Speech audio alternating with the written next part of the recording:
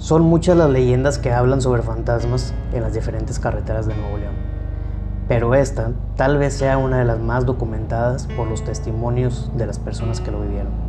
La carretera de San Roque pasa frente al conocido Deportivo San Benito en Juárez, Nuevo León.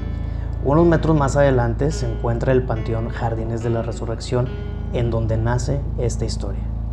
Se dice que desde este panteón sale una mujer de blanco con una vela encendida entre sus manos, con un semblante de tristeza, quien camina sobre la orilla de la carretera para después perderse entre la oscuridad.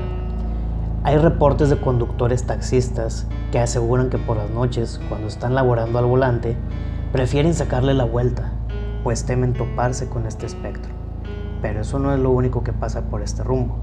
También hay gente que menciona que al pasar frente a este cementerio, su coche se apaga obligándolos a orillarse frente al portón de este lugar. ¿Será verdad o será mentira? No lo sabemos. Ustedes tienen la libertad de pensar lo que el mejor les parezca.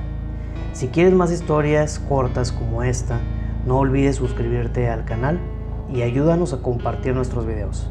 Yo soy Johnny Bomar de Monterrey Paranormal y los espero en el próximo video. Hasta pronto.